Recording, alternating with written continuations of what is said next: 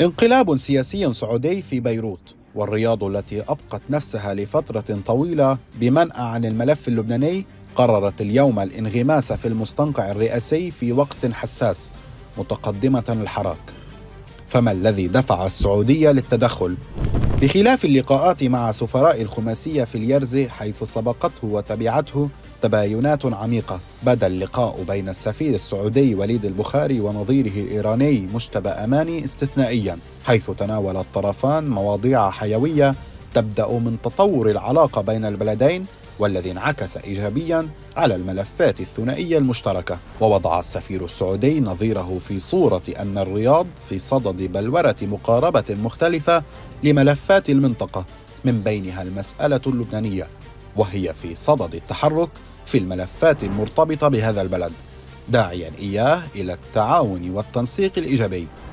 هلا بشكل عام المملكة العربية السعودية أنا برأيي آه، قراءة المشهد اللبناني جيدا. هي رأت أن ابتعادها عن لبنان أثبت ضرورة حضورها فيه يعني هي يعني إذا بدك حققت الهدف الأساسي من هذا الموضوع على مستوى آخر وبحسب ما يتبين يبدو أن المملكة العربية السعودية عملت قراءة مستجدة في كيفية التعاطي مع الملف اللبناني وهذا ظهر مؤخرا.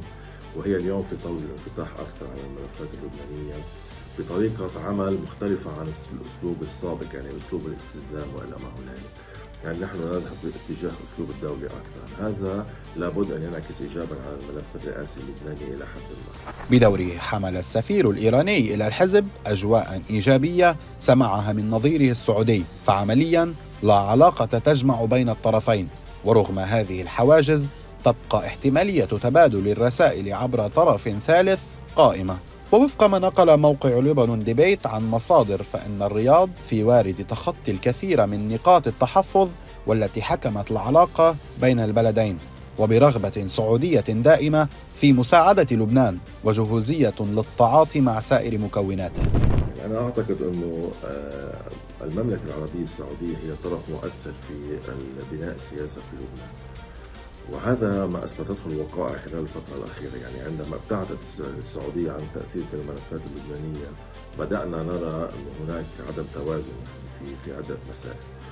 أيضا هذا انعكس على حراك الخماسي الدولي، الخماسي الدولي حينما كانت السعودية مبتعدة عنه يعني عمليا مبتعدة عن تدخل المباشر بالمسائل اللبنانية ظهر أن هناك عطب على مستوى هذا الخماسي، اليوم أستعيد يعني شيء ما يعني من الحركة خلينا نسميها الإيجابية على المستوى اللبناني من خلال دور المملكة العربية السعودية. وهذا بدأ ينعكس إيجابا على على حضور الخماسي. ولو أنه هناك في تباينات بوجهات النظر حيال الدور السعودي لأنه في أطراف ترفض هذا الدور.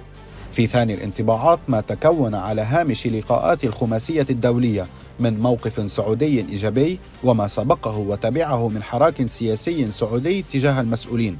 وما تخلله ورافقه من إبداء رغبة سعودية في المساعدة وما لمس حقا من تحول سياسي سعودي واضح. ما يفهم اذا أن السعودية بدأت سياسة انفتاح على لبنان؟